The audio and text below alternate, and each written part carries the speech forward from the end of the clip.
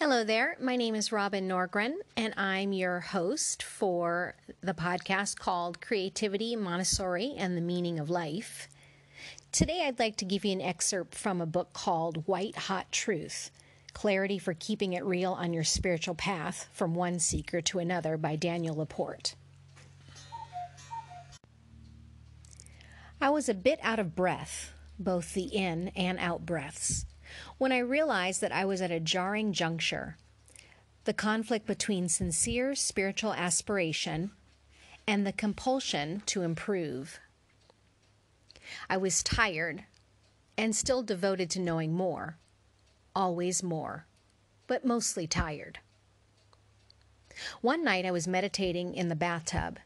I had begun my day already feeling a bit behind, quote unquote, because I'd skipped my sitting practice to sleep a few extra minutes before I woke my kid for school. I was learning to work with mantras, specifically for clearing obstacles. So, in the kitchen that morning, I cranked my mantra pay- playlist. Doesn't everyone have a morning mantra playlist? While I scrambled some eggs for my little dude. No breakfast for me, I was on a juice cleanse. Mom, that music is creepy. Can you put on some Bruno Mars? Eat your eggs. Once my boy was off to school, I had an early therapy session on the phone. Next, a meeting with my business lawyer, followed by an interview with an, a magazine editor who wanted to give wanted me to give their readers five easy tips for immediate enlightenment. Like quickies that everyone can do, they said with a straight face. In between all of this, I text my besties about the rad insights I gleaned from my last therapy session. Me. Great, Shrink, I said to him, and I took the cr- crumbs when they came, tired to make a cake out of them. Shrink said, Crumbs keep you starving. Danielle says, Not bad, not bad, not fed. Bam. Freaking crumbs. I say, me, starving. She says, Drop the mic. I say, Makes me hungry. She says, Me too.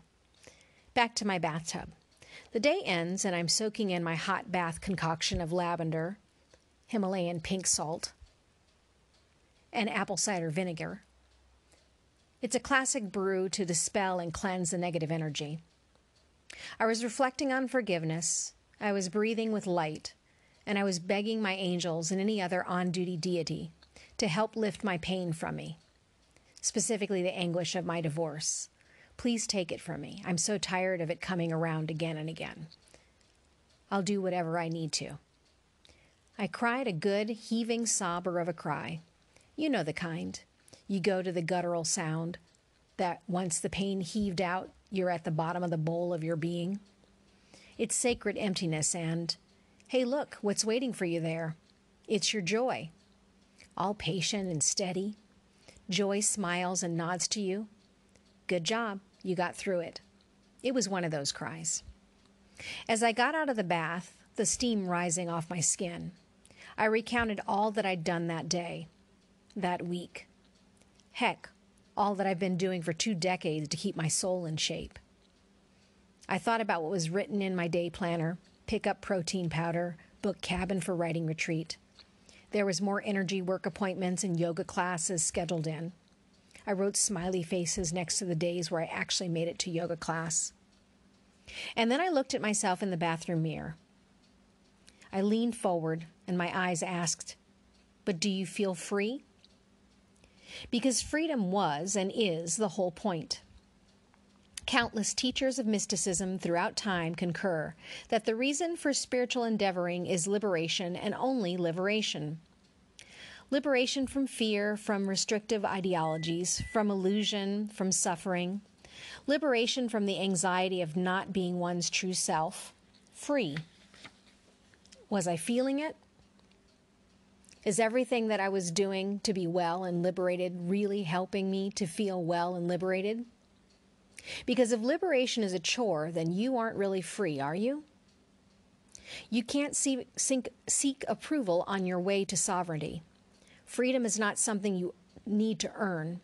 Joy does not come from a checklist. I've had to fight for my joy. I've also loved and laughed and created my way to it. But it's fair to say that crushing the obstacles, torching the illusions, fielding the attacks, going down with the grief, it's been some strenuous work.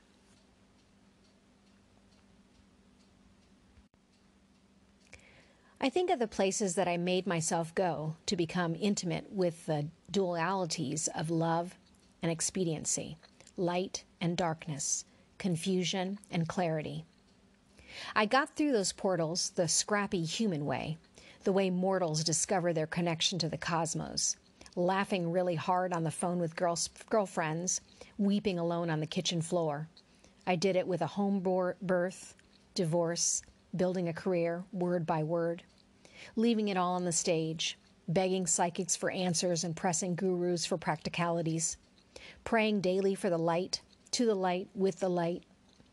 At this point in my life, I am the joy that I fought for. Now that I'm here, very directly facing my soul, I wonder if all that hard self help work was really a messed up way to go about finding illumination. Could I have just accepted myself much sooner and saved a lot of money on therapy? Maybe, but probably not. Truth is a journey. You have to love yourself into fullness.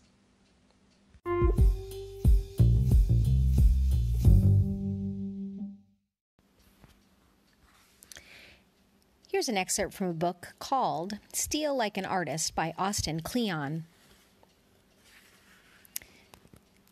Quote, the only art I'll ever study is stuff that I can steal from. Unquote. David Bowie. How to look at the world like an artist. Every artist gets asked the question, Where do you get your ideas? The honest artist answers, I steal them. How does an artist look at the world? First, you figure out what's worth stealing. Then you move on to the next thing. That's about all there is to it. When you look at the world this way, you stop worrying about what's good and what's bad. There's only stuff worth stealing and stuff that's not worth stealing.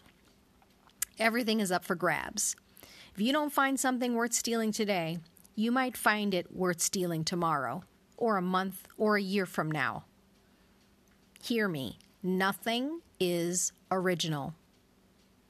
The writer Jonathan Lethem has said that when people call something original, nine out of ten times they just don't know the references or the original sources involved.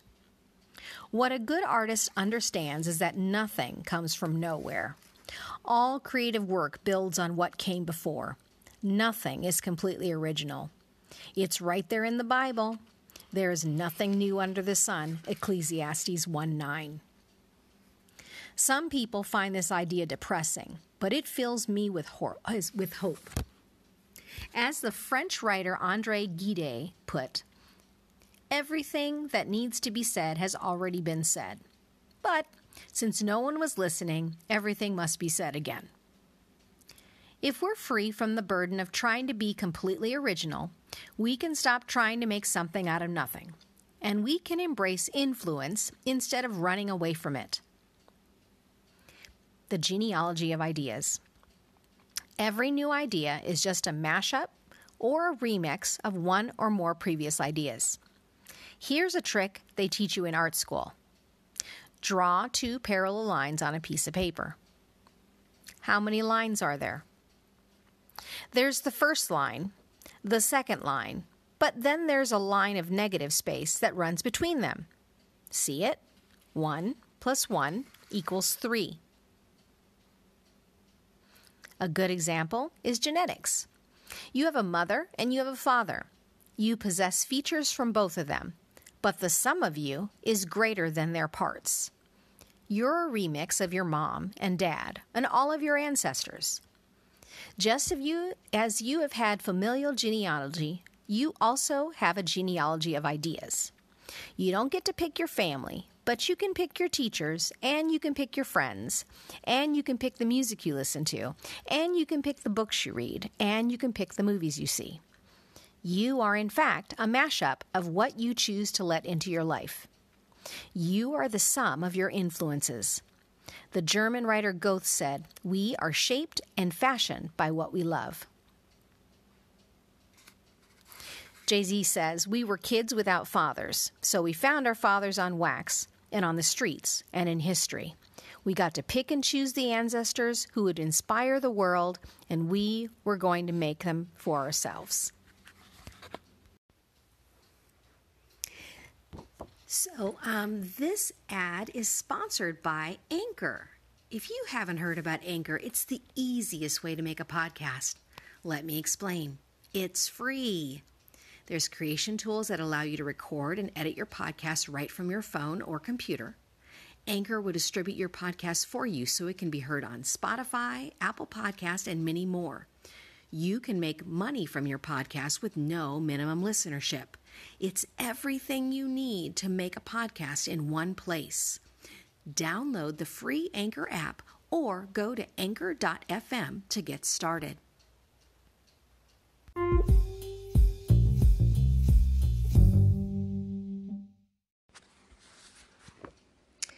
From the book Montessori Learning in the 21st Century A Guide for Parents and Teachers by M. Shannon Helfrich. When discussing independent movement and the need for it to be happening at all times, whenever possible, with children, for parents, the implications are that we must let our children be involved in the everyday tasks of life, whether washing vegetables for dinner, hanging up their own clothing, or setting the table. Children have a strong desire to contribute, even though they are not as efficient or as skilled in their movements as older children and adults. It is easy for an adult to convey messages of incompetence to a child who is doing the best he can and wants to participate. Adults are tempted to do things for children in order to save time and aggravation. But this does not ultimately help the child. In recent years, I have been working in China training Montessori teachers. And in China, parents and grandparents take great pride in doting on their children or grandchildren. Unfortunately, this often results in the parents physically carrying their children, even at ages two or three, when children are fully capable of walking. I see parents feeding children who are capable of feeding themselves. I watched one four year old boy eat a slice of watermelon and spit the seeds into his father's hand instead of spitting the seeds into the dish himself or removing the seeds from his mouth with his own fingers. Regarding parents over helping their children with daily tasks, Dr. Montessori wrote We, adults, believe that children are like puppets we wash them and feed them as if they were dolls. We never stop to think that a child who does not act does not know how to act. But he should act, and nature has given him all the means for learning how to act. Such service is dangerous as well as easy. In close outlets, it closes outlets, places obstacles in the way of a life which is unfolding and besides these immediate consequences, it has others which are more serious for the future.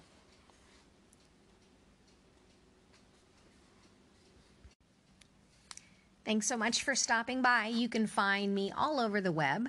All of my um, links are found on Instagram under at Robin underscore Norgren or at UBU for Life.